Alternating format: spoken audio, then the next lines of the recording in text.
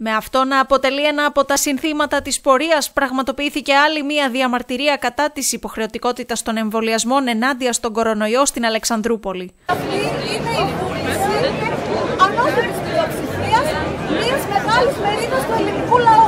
Η συγκέντρωση έλαβε χώρα στο κέντρο της πόλης νωρίτερα το απόγευμα της Τετάρτης. Πλήθος κόσμου πραγματοποίησε πορεία στη λεωφόρο Δημοκρατίας, ενώ πανό που βρίσκονταν κρεμασμένα στο Δημαρχείο τάσσονταν κατά του υποχρεωτικού εμβολιασμού στους υγειονομικούς. Εμείς δεν είμαστε αντίθετοι στον εμβολιασμό, είμαστε αντίθετοι στην υποχρεωτικότητα και ο εμβολιασμός είναι η πρόθεση όλων. Την ίδια ώρα, πορεία διαμαρτυρίας για το ίδιο θέμα ήταν σε εξέλιξη και στην Κομωτινή. Και στην πρωτεύουσα της Ροδόπης, η διαμαρτυρία συγκέντρωσε πλήθος πολιτών, οι οποίοι διατράνωσαν την αντίθεσή τους στις εξαγγελίες της κυβέρνησης, παρελάβνοντας με το σύνθημα κάτω η Χούντα του Μητσοτάκη.